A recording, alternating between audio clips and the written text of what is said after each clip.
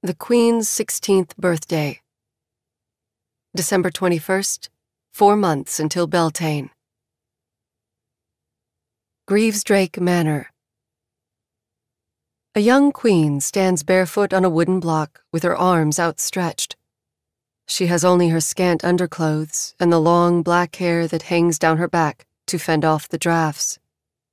Every ounce of strength in her slight frame is needed to keep her chin high and her shoulders square. Two tall women circle the wooden block. Their fingertips drum against crossed arms, and their footsteps echo across the cold hardwood floor. She is thin to the ribs, Genevieve says, and smacks them lightly, as if it might scare the bones farther under the skin. And still so small. Small queens do not inspire much confidence. The others on the council cannot stop whispering about it. She studies the queen with distaste, her eyes dragging across every imperfection her hollow cheeks, her pallid skin, the scabs from a rubbing of poison oak that still mar her right hand. But no scars. They are always careful about that. Put your arms down, Genevieve says, and turns on her heel. Queen Katharine glances at Natalia, the taller and elder of the two Arryn sisters, before she does. Natalia nods, and the blood rushes back to Katharine's fingertips. She will have to wear gloves tonight, Genevieve says. Her tone is unmistakably critical.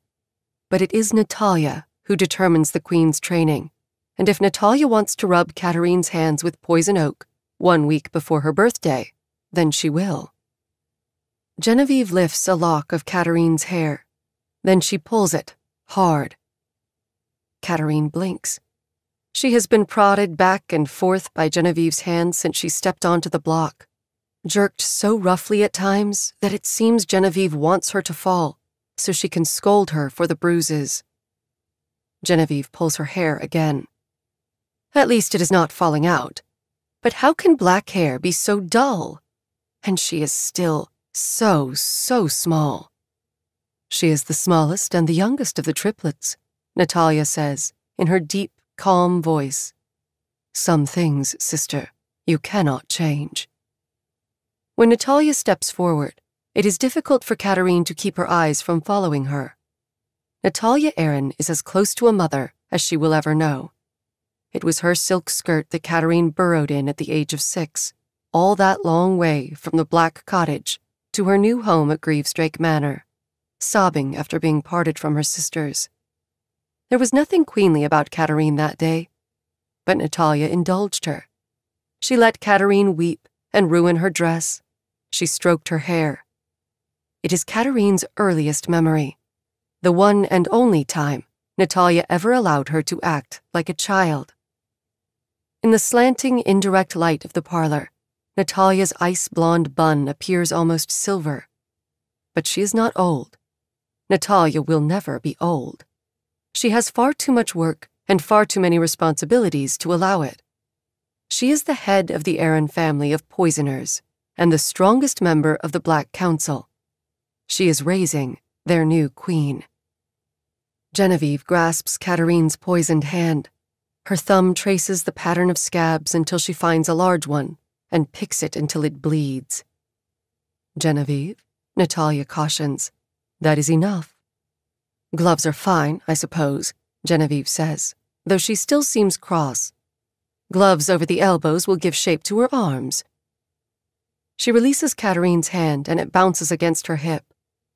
Katharine has been on the block for over an hour, and there is much day still ahead.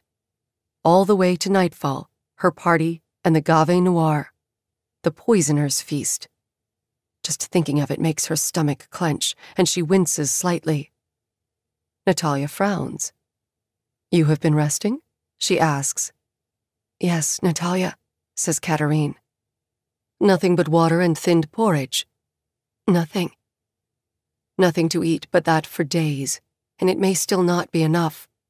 The poison she will have to consume, the sheer amounts of it, may still overcome Natalia's training.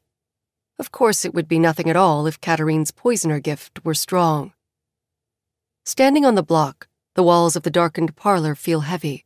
They press in, given weight by the sheer number of Arryns inside.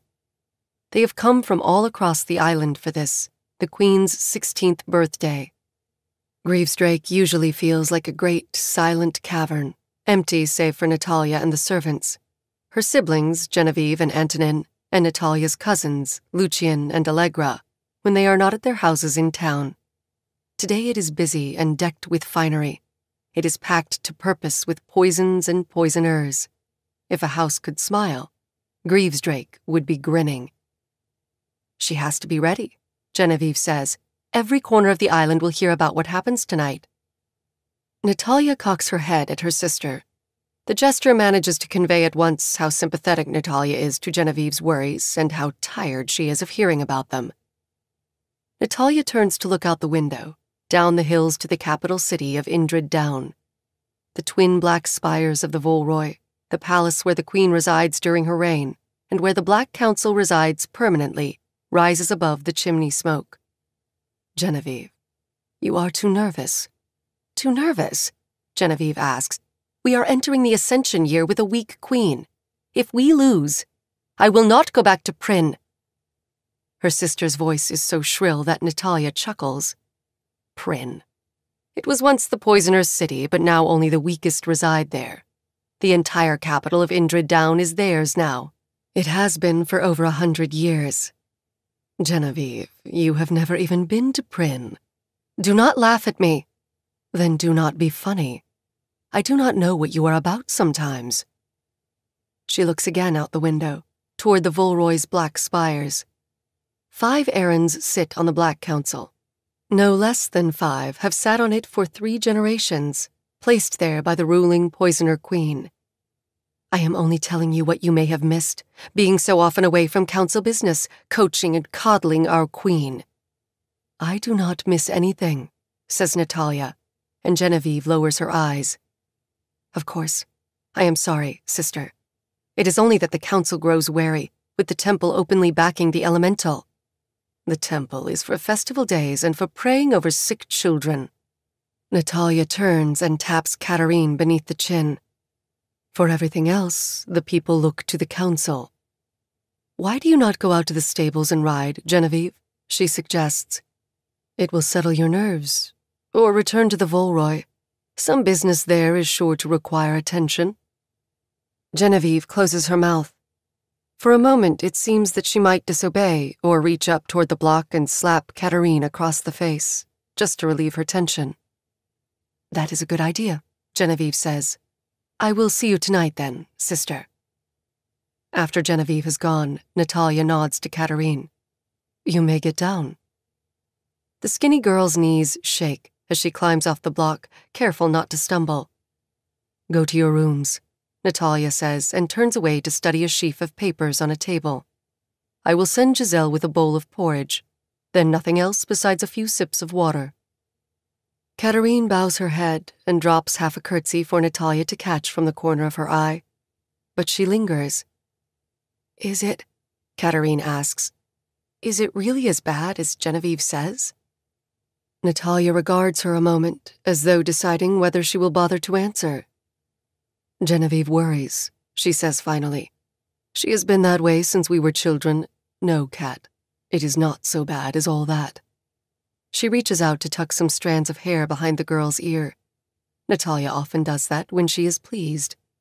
Poisoner queens have sat the throne since long before I was born. They will sit it long after you and I are both dead. She rests her hands on Katharine's shoulders. Tall, coldly beautiful Natalia. The words from her mouth leave no room for arguments, no space for doubt. If Katharine were more like her, the Arryns would have nothing to fear. Tonight is a party, says Natalia, for you on your birthday. Enjoy it, Queen Katharine, and let me worry about the rest. Seated before her dressing mirror, Queen Katharine studies her reflection as Giselle brushes out her black hair in long, even strokes. Katharine is still in her robe and underclothes and is still cold. Greavesdrake is a drafty place that clings to its shadows Sometimes it seems that she has spent most of her life in the dark and chilled to the bone. On the right side of her tableau is a glass sided cage. In it, her coral snake rests, fat with crickets. Katharine's had her since she was a hatchling, and she is the only venomed creature Katharine does not fear. She knows the vibrations of Katharine's voice and the scent of her skin. She has never bitten her, even once. Katharine will wear her to the party tonight, coiled around her wrist like a warm, muscular bracelet. Natalia will wear a black mamba. A small snake bracelet is not as fancy as one draped across one's shoulders, but Katharine prefers her little adornment. She is prettier, red and yellow and black, toxic colors, they say, the perfect accessory for a poisoner queen. Katharine touches the glass, and the snake lifts her rounded head. Katharine was instructed to never give her a name, told over and over that she was not a pet. But in Katharine's head, she calls the snake Sweetheart. Don't drink too much champagne, Giselle says, as she gathers Katharine's hair into sections. It is sure to be envenomed or stained with poison juice. I heard talk in the kitchen of pink mistletoe berries. I will have to drink some of it, says Katharine, they are toasting my birthday, after all. Her birthday and her sister's birthdays. All across the island, the people are celebrating the 16th birthday of the newest generation of triplet queens. Wet your lips, then, says Giselle. Nothing more. It is not only the poison to be mindful of, but the drink itself. You are too slight to handle much without turning sloppy. Giselle weaves Katharine's hair into braids and twists them high upon the back of her head wrapping them around and around into a bun. Her touch is gentle. She does not tug. She knows that the years of poisoning have weakened the scalp. Katharine reaches for more makeup, but Giselle clucks her tongue. The queen is already powdered too white, an attempt to hide the bones that jut from her shoulders and to disguise the hollows in her cheeks. She has been poisoned thin. Nights of sweating and vomiting have made her skin fragile and translucent as wet paper. You are pretty enough already, Giselle says, and smiles into the mirror.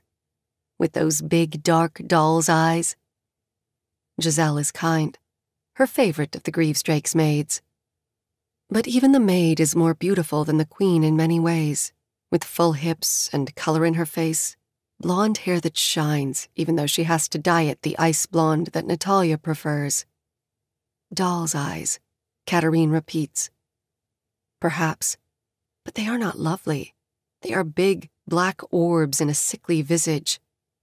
Looking into the mirror, she imagines her body in pieces bones, skin, not enough blood. It would not take much to break her down to nothing, to strip away scant muscles and pull the organs out to dry in the sun. She wonders often whether her sisters would break down similarly, if underneath their skin they are all the same. Not one poisoner, one naturalist, and one elemental. Genevieve thinks that I will fail, Katharine says. She says I am too small and weak. You are a poisoner queen, says Giselle. What else matters but that? Besides, you are not so small, not so weak. I have seen both weaker and smaller. Natalia sweeps into the room in a tight black sheath. They should have heard her coming, heels clicking against the floors and ringing off the high ceilings. They were too distracted. Is she ready? Natalia asks, and Katharine stands. Being dressed by the head of the Arryn household is an honor, reserved for festival days and the most important of birthdays. Giselle fetches Katharine's gown. It is black and full skirted, heavy. There are no sleeves, but black satin gloves to cover the poison oak scabs have already been laid out. Katharine steps into the gown, and Natalia begins to fasten it. Katharine's stomach quivers. Sounds of the party assembling have begun to trickle up the stairs. Natalia and Giselle slide the gloves onto her hands. Giselle opens the snake's cage. Katharine fishes out Sweetheart, and the snake coils obediently around her wrist. Is it drugged? Natalia asks. Perhaps it should be. She will be fine, Katharine says, and strokes Sweetheart's scales. She is well mannered. As you say. Natalia turns Katharine to the mirror and places her hands on her shoulders. Never before have three queens of the same gift ruled in succession. Sylvia, Nicola, and Camille were the last three. All were poisoners raised by Arryns. One more, and perhaps it will become a dynasty. Perhaps only the poisoner queen will be allowed to grow up, and her sisters will be drowned at birth. There will be nothing too surprising in the Gave Noir, Natalia says. Nothing that you have not seen before. But just the same, do not eat too much. Use your tricks. Do as we practiced. It would be a good omen, Katharine says softly, if my gift were to come tonight, on my birthday, like Queen Hadley's did. You have been lingering in the library histories again. Natalia sprays a bit of jasmine perfume onto Katharine's neck and then touches the braids piled onto the back of her head. Natalia's ice blonde hair is fashioned in a similar style, perhaps as a show of solidarity. Queen Hadley was not a poisoner. She had the war gift. It is different. Katharine nods as she is turned left and right, less a person than a mannequin, rough clay upon which Natalia can work her poison craft. You are a little skinny, Natalia says. Camille was never skinny, she was almost plump. She looked forward to the Gave Noir as a child to a festival feast. Katharine's ears prick at the mention of Queen Camille. Despite being raised as Camille's foster sister, Natalia almost never talks about the previous queen, Katharine's mother, though Katharine does not think of her that way. Temple doctrine decrees that queens have no mother or father. They are daughters of the goddess only. Besides, Queen Camille departed the island with her king consort as soon as she recovered from giving birth, as all queens do. The goddess sent the new queens, and the old queen's reign was ended. Still, Katharine enjoys hearing stories about those who came before. The only story about Camille that Natalia tells is the story of how Camille took her crown, how she poisoned her sisters so slyly and quietly that it took them days to die, how when it was over, they looked so peaceful that had it not been for the froth at their lips, you would have thought they had died in their sleep. Natalia saw those peaceful, poisoned faces for herself. If Katharine is successful, she will see two more. You are like Camille, though in other ways, Natalia says and sighs. She loved those dusty books in the library too, and she always seemed so young. She was so young.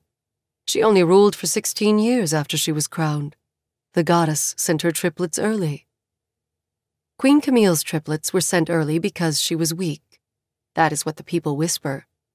Katharine wonders sometimes how long she will have, how many years she will guide her people before the goddess sees fit to replace her. She supposes that the Arryns do not care. The Black Council rules the island in the interim, and as long as she is crowned, they will still control it. Camille was like a little sister to me, I suppose, Natalia says, does that make me your niece? Natalia grips her chin. Do not be so sentimental, she says, and lets Katharine go. For seeming so young, Camille killed her sisters with poise. She was always a very good poisoner. Her gift showed early. Katharine frowns. One of her own triplets had showed an early gift as well, Mirabella, the great elemental. I will kill my sisters just as easily, Natalia, Katharine says, I promise, though perhaps when I am finished, they will not look like they are sleeping. Hi, I'm Kendare Blake, author of the Three Dark Crowns series. Thank you so much for watching. For more videos, click here, and to subscribe to Epic Reads, click here.